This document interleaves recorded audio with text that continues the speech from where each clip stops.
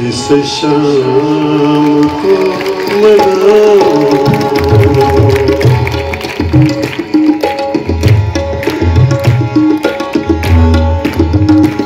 दुख सहने से पहले मैं इस शाम को